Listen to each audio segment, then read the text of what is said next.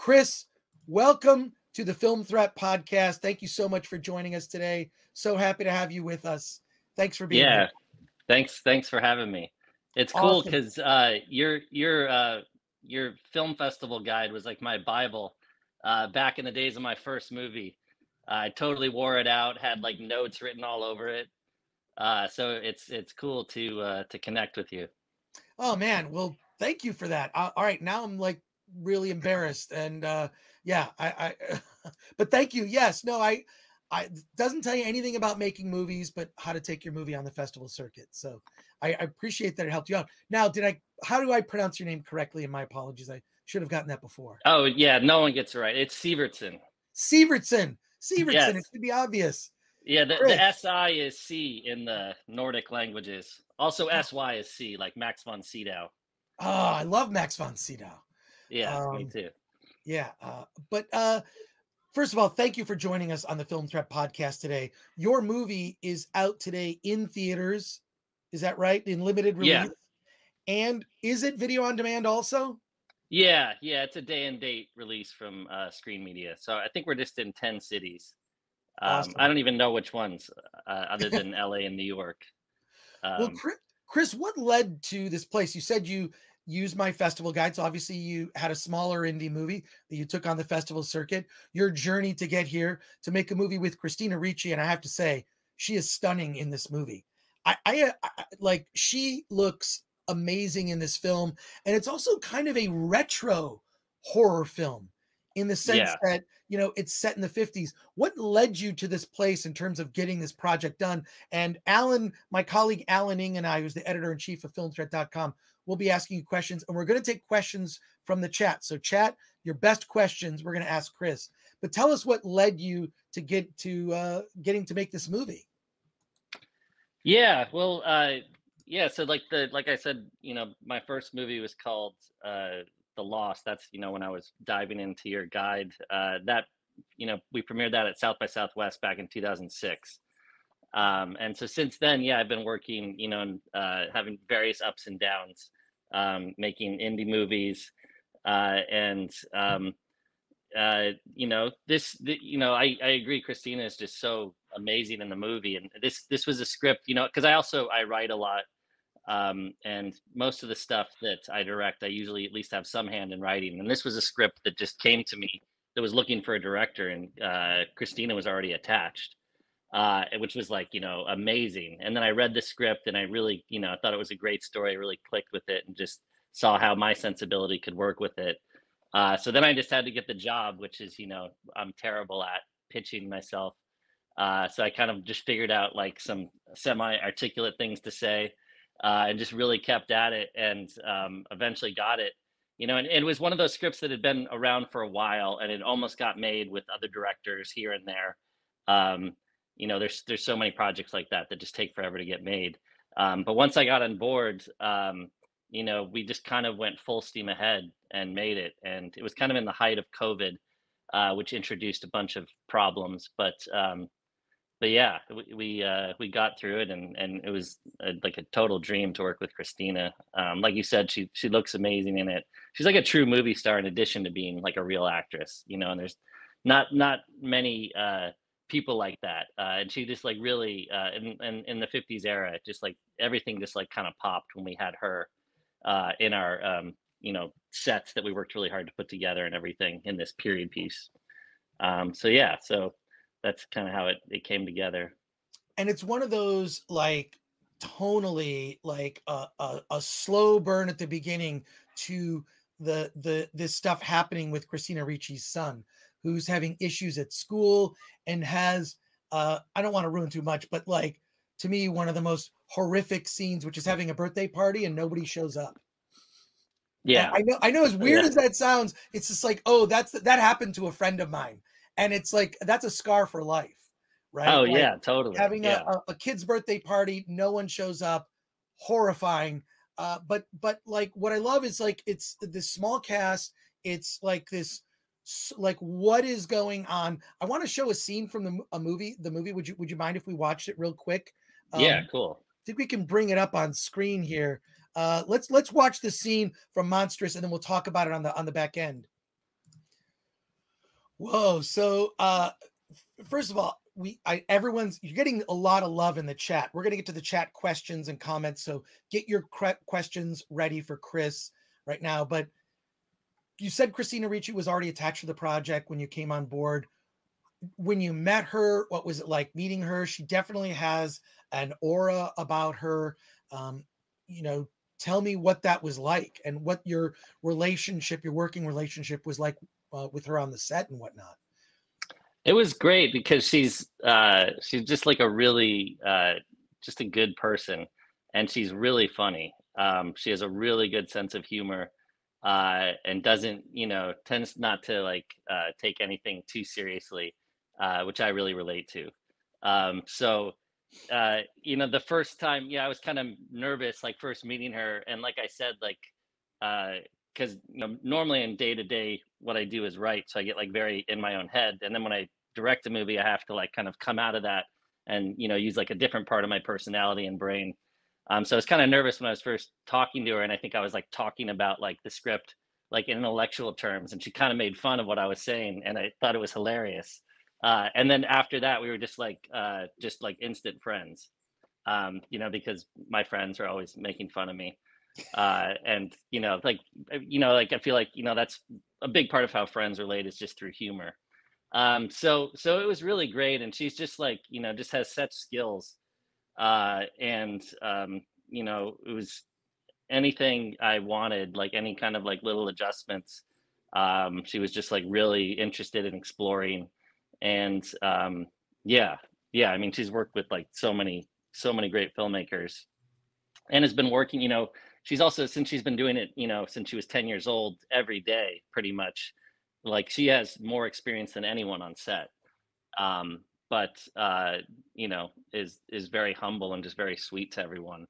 Um so everyone kind of like had to like you know once once we had her it's you know uh you know everyone like has to like step up their game you know uh you know because we were a small movie and we had to create the these sets and these costumes and this look for the movie um, that was like worthy, you know, to like give her like a, a, a stage that was worthy of her to perform on, if that makes sense. Well, it's a good, it's also a good mix of like her acting against the effects. It's a good mix of like obviously practical effects, there's practical effects, but with with digital enhancement in places, and that seemed to really serve the movie well. We've got a lot of love if you want some love in the chat and questions. So if you don't mind me going through uh, the the chat questions here from our audience that's watching live.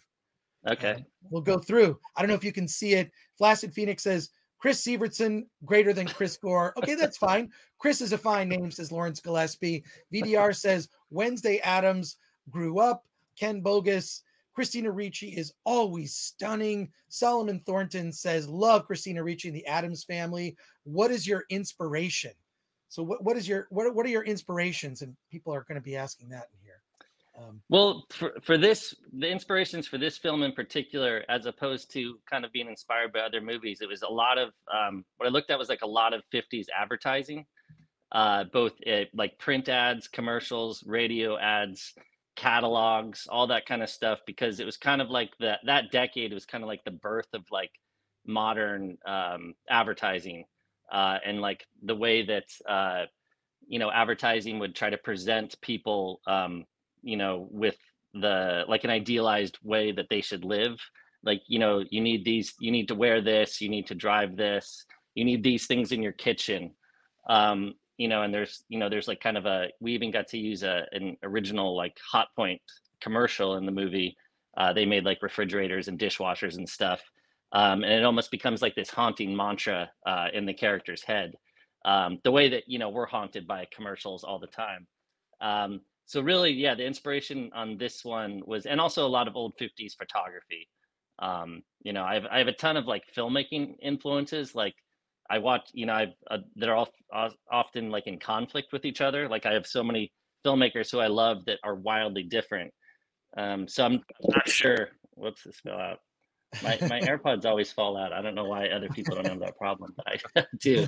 Um, but but yeah, so advertising was a big one. You know, uh, you know, like the which makes you know like why uh, like that stuff that like Mad Men was tapping into that that birth of like um you know American uh, advertising in the modern age. Yeah, I, I I love that stuff, and I love that the film like really sort of did the world building with like this is the 50s. There's no Wi-Fi, no cell phones. There are some devices, right? Television, but it was so it almost felt like there was one shot, and I felt like she seems trapped with all this stuff. It had it had like a really good tone even before the monstrous stuff mm. starts to happen. Uh, but we've also got some just some great questions here. Um, comments. Courage seventy seven. I love Christina Ricci. She's a good actress. Um, and then fifty five. What are your monster movie inspirations that really drove your vision for the film? Well, I, one thing that I was super lucky to do in this was we actually got to create. At one point, she's watching a monster movie on TV. Um, so we actually got to create our own monster movie, which, of course, to me, the inspiration there is uh, Creature from the Black Lagoon. Um, but that was I shot way more than we needed. You know, it's a pretty brief sequence where she's kind of falling asleep watching TV, and there's this kind of old school creature feature on, and then she becomes a part of it. Um, and I shot tons of stuff for this. It was like it was a very like surreal experience um, to be shooting like with this old fashioned like monster in a suit, uh, and Christina is in this like cool bathing suit, and it was kind of dusk, and it was like it just it felt very surreal um, but I realized that like I would have been like totally happy making B movies in the 50s because uh, it was just so so fun. It was and it kind of perked up the whole crew too. It was like at the end, you know, towards the end of a really long day. Um, everything that happens at that lake was all one day, and the last part of the day was when we got to do the monster stuff, uh, the the old school monster stuff. Um, but but yeah, so definitely Creature from the Black Lagoon. Um, you know, is uh, just so beautiful. You know, like there's that shot in in that movie where the creature, the classic one where the creature is swimming underneath the the woman who's swimming at the top, and he's kind of shadowing her, um, and it's just really beautiful. Uh, and also, you know, kind of like a love story, like the King Kong, uh, Beauty and the Beast kind of thing going on there too. Yeah, it has that aspect. I mean, Creature from the Black Lagoon what might be one of my favorite 1950s like B monster movies because the monster is so convincing. I mean, that whole costume, I mean, it's basically a scuba suit but it's yeah. so such a great and it's a trilogy. And I believe that actress is Julia Adams, and she's wearing this um one piece bathing suit that's stunning. That's all I'll yeah. say. Yeah, those old bathing suits are so cool. Yeah. And that's yeah. right. I, I yeah, I I it's been a long time since I've seen the sequels. Yeah. Um, but, but it was and I trilogy. think the same director. Yeah, I think the same director did at least the second one too. And the first movie's like 60 minutes. It's not like not like a long yeah. movie. Um, more questions from our chat here. Bashy Washy says, Thanks, Chris, for this. My question is As a director of a movie, what do you think is, is the best way for us fans to support your project to be free from the Hollywood influence? A lot of the conversation around here and almost everything that Alan and I review, a lot of people ask, well, is it is the movie kind of woke? Is it forcing some kind of agenda? I mean, I can just say, having seen Monstrous, there is zero anything like that. Like it's it is a straight up you know, haunting monster movie with deeper layers to it, so to speak, no pun intended. Um, but uh, and it's also a retro film. It's set in the 50s. There's nothing like that. But uh, look, the way you can support it is see the movie. It's on video on demand today. It's in theaters and limited release. Go see Monstrous and support it. But do you have any comments on that, Chris? Like as a director, like you, you know, I mean, I think it was Quentin Tarantino who said someone asked him like what's your favorite era to make movies in you make movies in different time periods and quentin tarantino said anytime before cell phones he just likes movies yeah. kind of set in a different era do you have any thoughts or comments on that uh, well this was actually my first period piece uh, and i love doing it because um, for one thing just like from a practical level it really forces forced everyone to work you know harder. Everything in the frame has to be there for a reason you know? Uh, every location has to you know we have to take all this into account to create this period piece. Um, and it's fun to step outside of uh, modern day and uh, just look at so yeah because we can get so caught up in whatever people are um, debating about uh, or arguing about in modern day but if you kind of step outside of that a little bit um, and just try to find like universal themes like this movie deals with a lot of universal themes that i think are pretty easy to relate to you know like the parent child relationship uh, loss um, you know even just simple things like you said uh, like i'm glad you connected with the you know, uh, empathizing with this kid when no one shows up to his birthday, you know. And at one point, Laura's reading a magazine uh, that's like, and she, and the, the the title of the article is called "How to Fit Into Any Occasion," um, you know, and it's like she's trying to like fit into the society. So, so yeah, so I, I'm I'm really just kind of more interested in kind of dealing with like universal themes. I feel like this movie is like uh, I would describe it as like kind of like an emotional like fairy tale uh like as opposed to like it's it's not and and we, the way we tried to work on it was like not intellectualizing things um and just trying to keep things like very simple and elemental um so yeah hopefully hopefully that worked but but like i said i, I like just little things like yeah like that kid alone uh nobody shows up for his birthday party like that like just breaks my heart um and uh because yeah i don't know everyone uh and plus with being online with you know everyone is like you know i think uh, secretly pretty sensitive.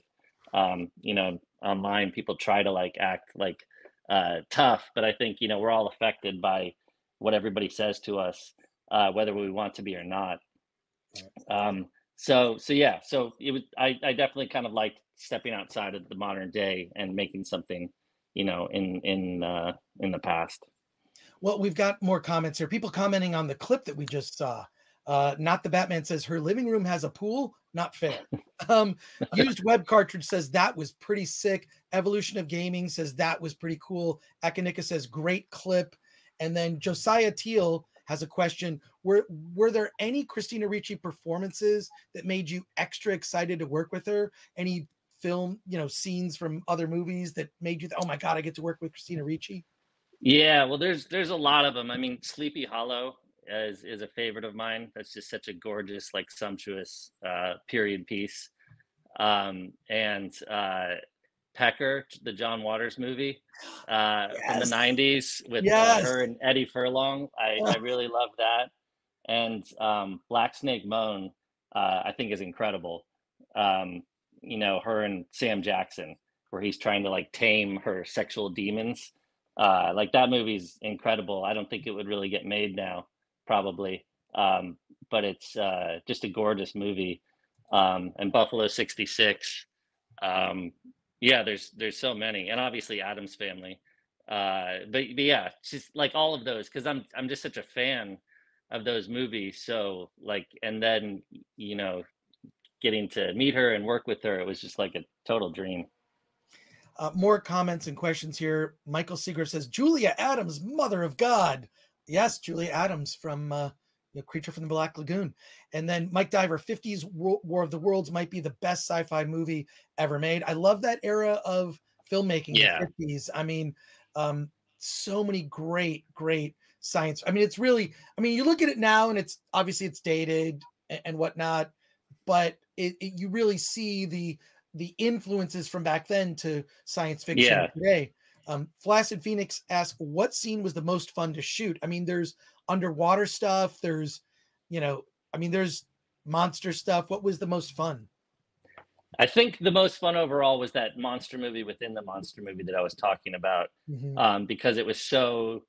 Because when you have someone just sitting there in a suit that kind of looks ridiculous, it's kind of helps. It's just you know fun. You don't take yourself too seriously a lot of the movie I was like very stressed out, you know, because we're short on time, like all filmmakers are.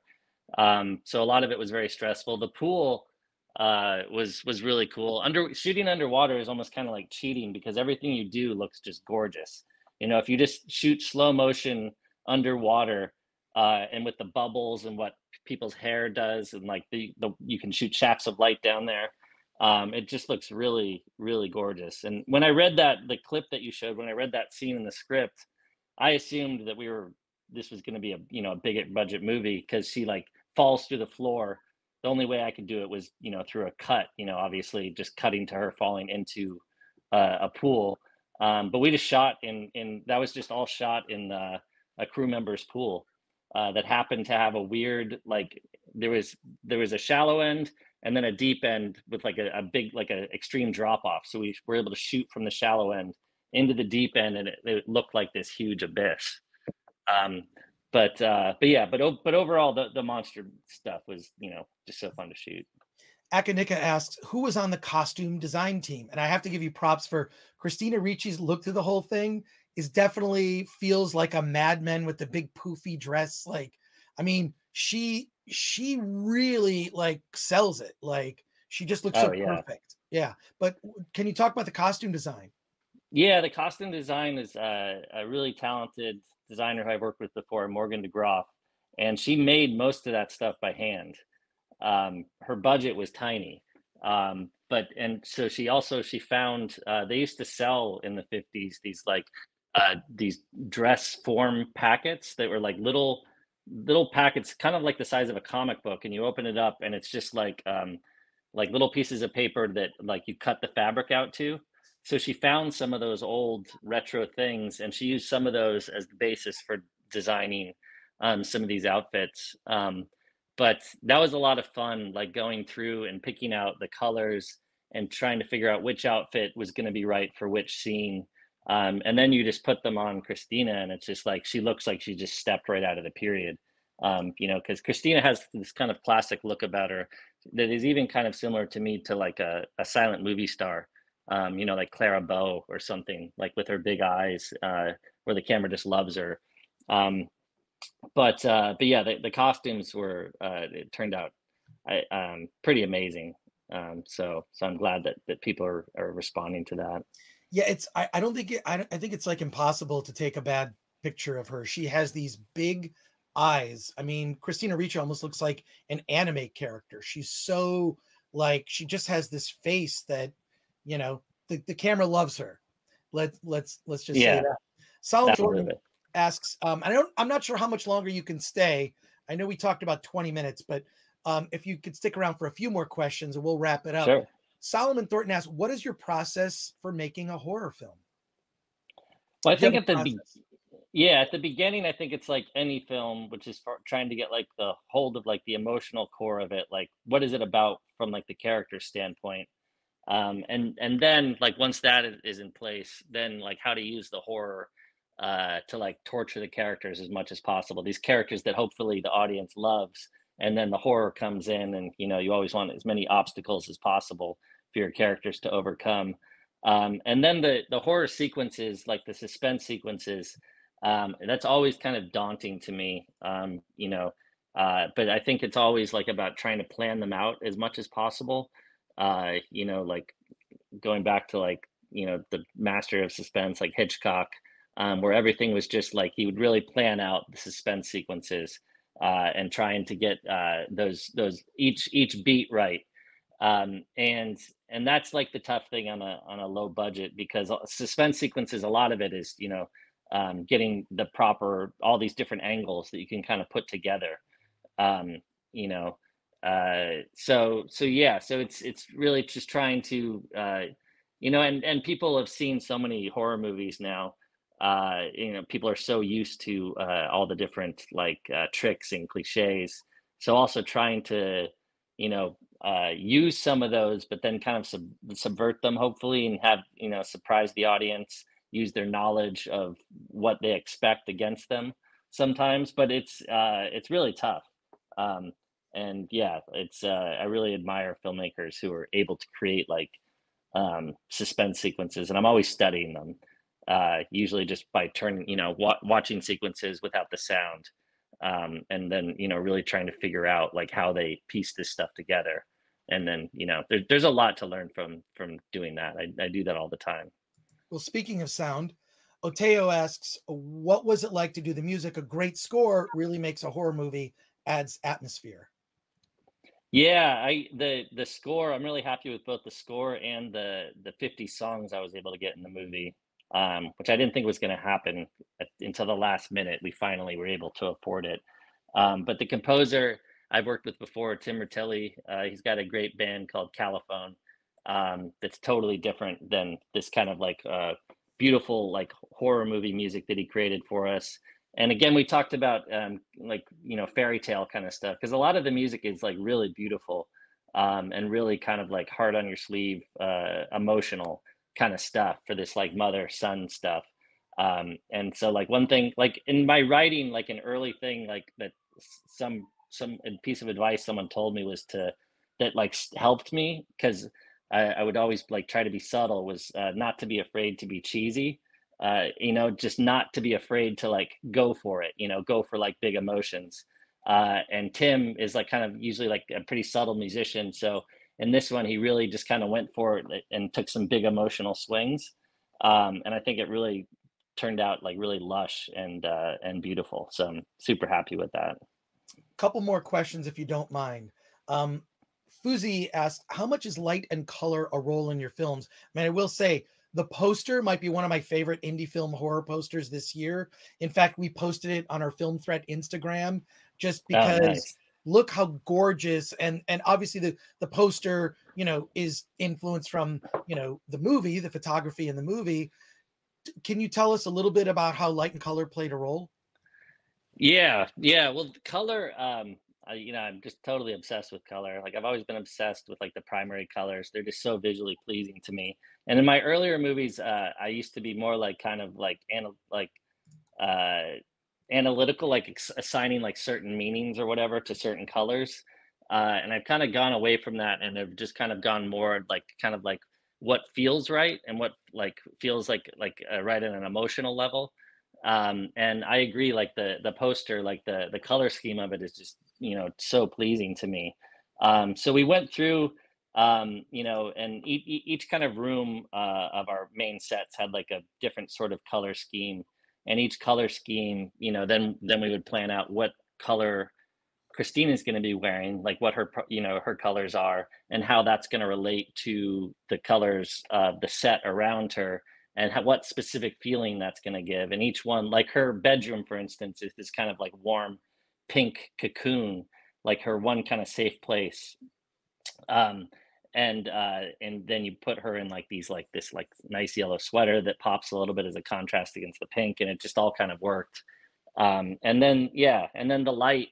Um, you know, it's uh, had a, a great cinematographer, Senda Bonet, on this, and um, you know, we uh, we played a lot with uh, um, you know with haze, like diffusing uh, the atmosphere in the room uh, to get like a kind of a nice, soft, like pleasing look, um, and that kind of softens the light.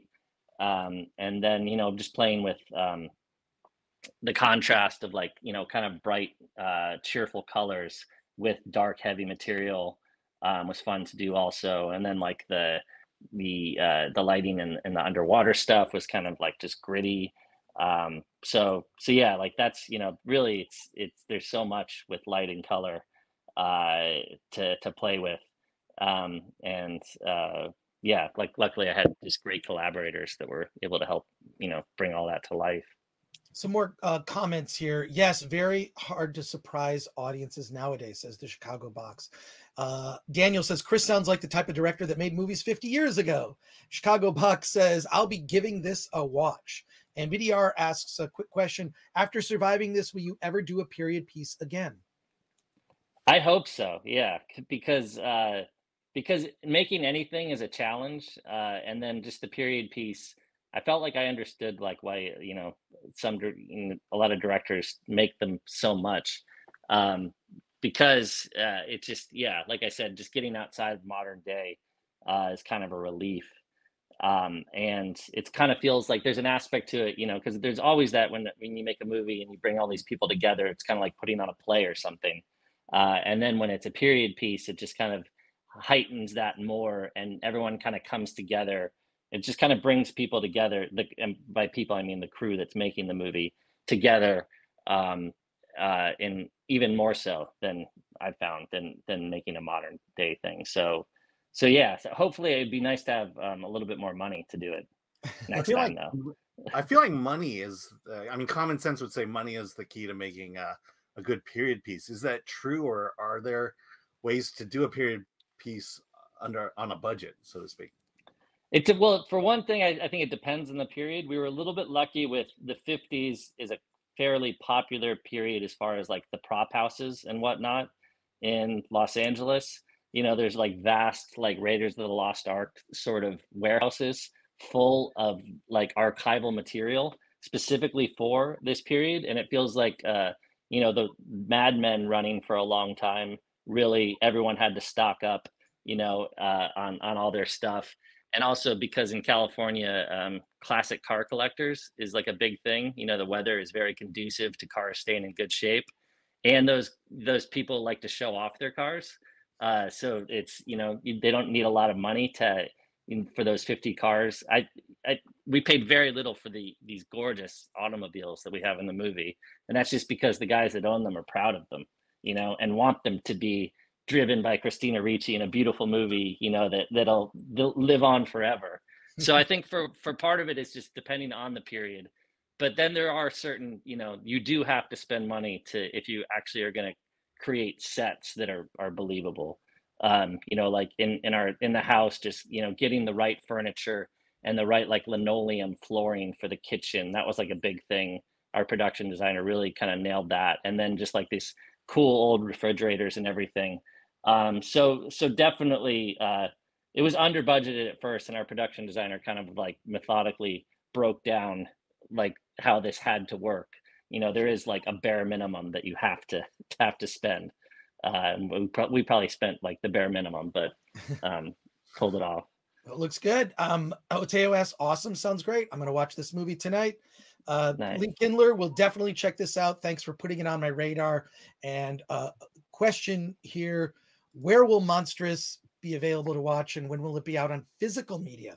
Says Cavatino Cavalryman Shay. It's out now, right? On v- video on demand. Is that right? Yeah. Yeah. All the usual suspects, you know, like iTunes. Uh, I don't even know if it's called iTunes anymore, but mm-hmm. Amazon, uh, all, you know, in DirecTV, all wherever you like rent video on demand. And then there actually is a Blu ray release coming out in July. Um, and I imagine also probably around that time it'll probably go to um, a streamer as well for people who wait um, for those. I don't know uh, which one, but I, I, think that would probably be the timing for that. Great. Well, Chris uh, Sivertson, thank you so much for joining us on the Film Threat Livecast. Uh, our chat loves you, and I'm they're happy to have discovered the movie. And uh, congrats again, and thanks for thanks for the shout out for my book at the beginning. I appreciate. Yeah, that. yeah. Well, thanks for writing it. It was seriously a, a huge help to me. Oh, um, and thanks great. for having me. It's uh, this was this was awesome. Yeah, cool. And I hope uh, your next film come back. Don't forget us. I won't. I won't. okay. All right. Take care, Chris. Have a great day. All right. All right. Later. Thanks, guys. Bye. You too.